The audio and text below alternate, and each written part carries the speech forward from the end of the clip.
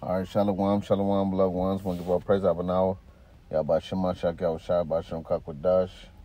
Peace and blessings, our beloved ones baptized in the New Testament for the remission of sins. And uh, today I'm going to be going through the uh, discourse. All right, out of the book of Josephus, the discourse, the discourse concerning uh, Hades. All right, extract out of Josephus' discourse to the Greeks concerning Hades. Right, so Josephus was what telling the Gentiles and the Greeks, right, which the beloveds were scattered among them, right? He was speaking to them about Hades, man. Which Hades go back to the Hebrew word she Sheol or Shawwal, all right? And you can read all in Job how it says that your soul can go there, man. Like it speak about the soul and everything going to Sheol, which that was a place that what they would go in the old covenant, all right, before the Lord Yahweh Shai was resurrected and went into the heavens, right? Because before that, what when people die, they would rest in Sheol, all right, until what uh, the resurrection, when you stand before the judgment seat of, of Christ, all right. So they had to wait to stand before the judgment seat of Christ, man. All right. So this was the place where the dead would go when they rest, or be tormented, until what they go to, to the judgment to uh, be judged by the Lord. All right. Which uh, you know, the the, uh, the discourse of Hades is it's just like Esdras uh the seventy missing verses of Esdras, which she, she might have to go read that again, man, because that the seventy missing verses is heavy. Which a lot of people uh speak about the apocrypha we have now. The apocrypha we have now, they took those uh, verses out of the book, man, and, and you can look this information up about various manuscripts. They took out the 70 missing verses, man. All right, because they didn't want you to fear the Lord's uh, torture and His wrath, man. They want you to think about only uh, uh, the Lord, basically just you know not doing any uh, judgment. All right, so let's keep it reading, because I got like eight minutes to record this video, because the uh, limit on this uh, app only let me do 10, 10 minutes. So let me try to hurry this up, get what I can out of this. And this is the discourse concerning demons. All right, well, I'll, I'll, go back up. Extract out of Josephus' discourse to the Greeks concerning Hades, wherein are contained the souls of the righteous and unrighteous. And this is a discourse concerning demons.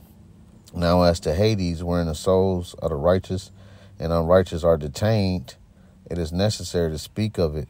He said, "Is what it is necessary to speak of it." No, I, mythology, right? Hades is a what is a place in the world not regularly finished, right? The scriptures tell you that what to the uh, the way of the wise is to depart from uh, hell below, man.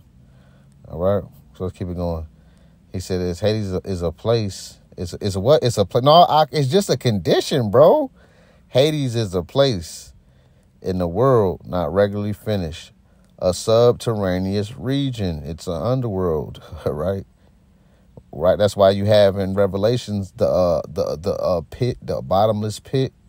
That's the subterraneous region, your bottomless pit, man. All right, which you have Sheol. You have another word, uh, which is uh like uh, priest Dawam. He called himself Dawam, which uh, it's another way they pronounce it too in modern, right? But that word for depth also goes into the abyss. All right, and you also have what um another word for the, uh, the abyss is what uh, that T word. How do you say it? It's uh, dang. How for, I know Peter spoke of it. What's that word? Tartarus. Tartarus. All right, so let's keep it going because I'm yapping. Let me keep reading. It says it is necessary to speak of it. Hades is a place in the world not regularly finished, a subterraneous region wherein the light of this world does not shine. Right, a dark place. Job speaks about the land of darkness in the book of Job all right, where the light don't shine, from which circumstance that this in this region light does not shine, it cannot be, but there must be in it perpetual darkness. This region is allotted as a place of custody, of what a place of custody for souls in which angels are appointed. Remember in the new covenant when when the uh, rich man died and Lazarus died, the angels come and get you, man. And an angel or a demon can come get you after death. See that? Everybody don't have a beloved angel that come gets them after death. Some people get demons that come take them after death, man. Where you think them demons was taking you, man, after death, man? Everybody doesn't have Michael the Archangel to come take them after death, man. You Negroes is crazy and out your damn mind.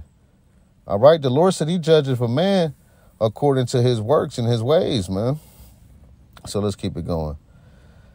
It said this place was a custody for souls in which angels are appointed as guardians to them, who distribute, who do what? Who distribute to them temporary punishments. Remember the scripture says the Lord shall what deliver you to the tormentors agreeable to everyone's behavior. So there's torments for everyone's behavior, man. This is why you what you gotta have good behavior, man. The scripture says what uh bad communication corrupt good manners, man. In this region, there's a certain place set apart as a lake of fire. What as a as a what? As a lake of unquenchable fire. Whereunto we suppose that no one have hitherto been cast, right? So in Josephus' time, he didn't, you know, think nobody was what sent there yet, right?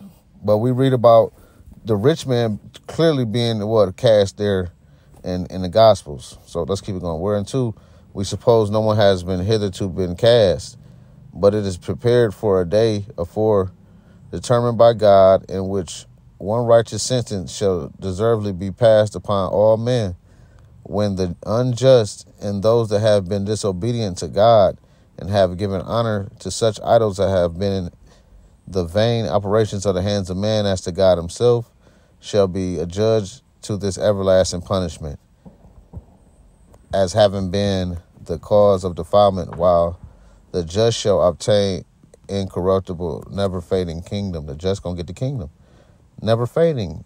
These are now indeed confined in Hades, but in the same place wherein the unjust are confined, right?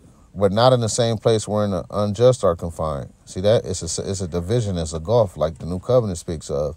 There's a separation for the righteous and the wicked. All right? It's not the same place, but not in the same, but not in the same place. All right, so they're not getting tormented, the righteous. All right, when they die, and and rest until the Lord rises him out of that out of that uh, pit, which is out of that Sheol, and, and what resurrect him. For there is one descent into this region, at whose gate, remember the gates of hell, we believe there stands an archangel with an host. So there's angels at, at the gate to these of these realms, man. Which gate, when those pass through that are conducted down by the angels appointed over souls, they do not go the same way. But the just are guided to the right hand and are led with hymns. See, the just are led with, to the right hand with hymns when they die and their angels is, is, is making it very peaceful for the beloveds. All right. Their works do follow them, like the new covenant says, sung by the angels. The angels are sing to you, beloveds, appointed over that place unto the region of light, right, which is Abraham's bosom, in which the just have dwelt from the beginning of the world, not constrained by necessity, but ever enjoying the prospect of the good things they see and rejoicing in the expectation of those things, new enjoyments all right, Slacky beloveds, I'm reading fast because I got only a little bit of time. It said basically this place is called the bosom of Abraham, but as to the unjust, they are dragged by force to the left hand by the angels allotted for punishment, no longer going forth with goodwill, but prisoners driven by violence, to whom are sent the angels appointed over them to reproach them and threaten them with their terrible looks and thrust them still downward. They're going to send you to hell, thrust you downward. Now, the angels that are set over these souls drag them into the neighborhood of hell itself, man. So, you know, I had to hurry this one up, beloved one. So, uh, you know, you guys can look into this, man. So, shalom.